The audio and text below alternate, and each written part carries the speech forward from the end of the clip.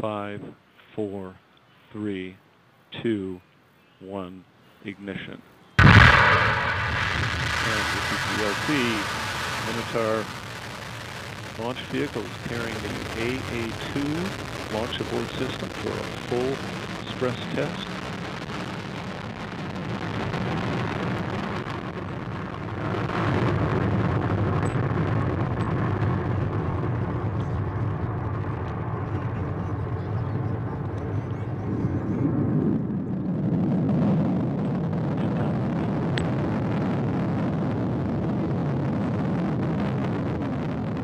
Fifteen thousand feet.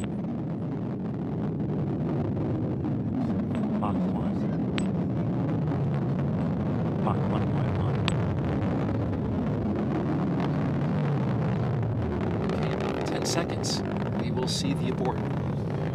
Abort initiation. Pyros 1 and 2 discharge both sides. Switching for pressure. Good control.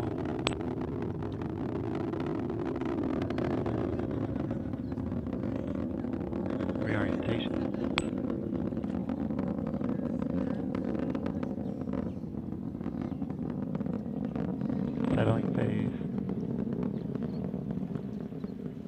Jettison. Pyros 3 and 4 discharge both sides. Squib power enabled. Perfect.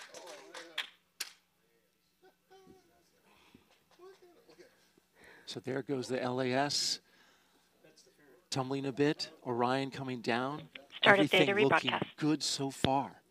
Recall there are no parachutes on this test today, so once the data recorders have been deployed and the vehicle is no longer transmitting data, TC will call test complete.